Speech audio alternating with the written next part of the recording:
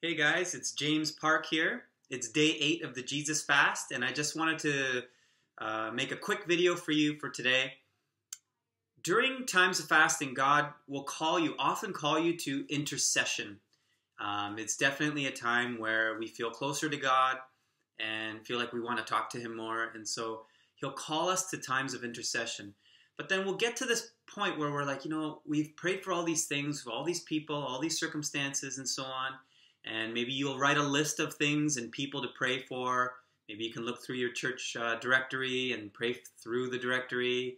Uh, whatever it is you do, you'll come to a point where it's like, you know, I've done my lists and I've done um, everything I thought of doing. Is there more I can intercede?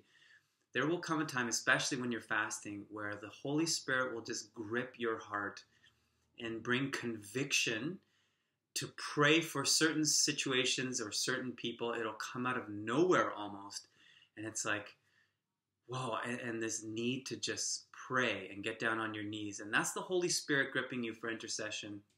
And so be watchful of those times. It can come at any time during the day, while you're driving, uh, just before you go to bed, or even, you know, while you're just doing your normal activities during the day suddenly God will bring someone to your mind or a certain situation to your mind, and the Holy Spirit will bring this strong conviction. And that happens, I believe, strongly when we're in times of fasting. And so I want to encourage you let's continue to seek the Lord uh, and pray into the things that He puts on your heart.